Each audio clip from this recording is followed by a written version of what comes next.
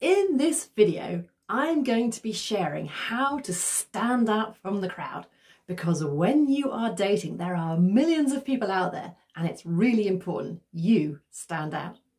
Hi, I'm Katharine Gray. Welcome to all our lovely subscribers to our Christian dating coaching YouTube videos. Thank you so much for watching this video today. I really appreciate your time. If you haven't yet subscribed, click the red button below. It's free to do so and ensure you'll never miss one of our videos. Okay, let's get started. I don't need to tell you that in the dating world, there's masses of choice. And sometimes it feels hard to get yourself seen and noticed by the right people, or in your case, the right person. Well, the truth is, it isn't hard to get seen and get noticed if you do the right things. This point has been beautifully illustrated by Air New Zealand, and it's worth studying what they've done and applying it to your own dating journey.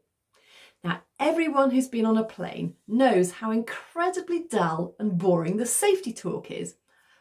Most people don't listen to it, they're still reading their iPads or watching films or playing on their phone. If you've flown more than once, you probably turn off and don't listen when the tannoy starts bringing the safety announcement over the airwaves. But it's really, really important for that crew and that aeroplane to get you to listen to the safety announcements. So how have Air New Zealand done it? Well, if you Google Air New Zealand safety announcement after this video, you will see they've done a really, really clever video using the Lord of the Rings film to get people to think about safety in a way that's incredibly engaging. What's amazing about this video is not only did it drive up um, the number of listeners they had on their planes, but I think it's had millions and millions of hits on YouTube. So here is a safety video that most people don't want to watch on a plane, and yet they're watching it when they're not even on a plane because it's so engaging. Air New Zealand have created something radically different and they've really managed to capture people's attention. Now that is what you need to do in dating. Don't do what everybody else is doing. A really boring profile talking about their interests um, in going to the cinema, going to the theatre, the same stuff that everybody does.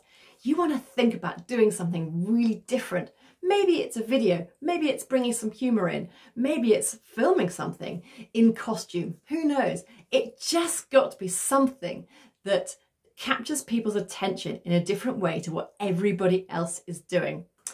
If a big successful company like Air New Zealand are doing something different, then it's worth sitting up and taking notice.